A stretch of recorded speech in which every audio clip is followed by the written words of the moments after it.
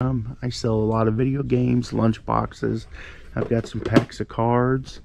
I've got a bunch of toys. I got some Funko Pops back there, action figures. Here's a bunch of action figures here. Tons of comic books. And um, what I want to do is I'm going to like push all the toys over to this side. And I'm going to put up some clothes racks here for, uh, I want to put t-shirts in here.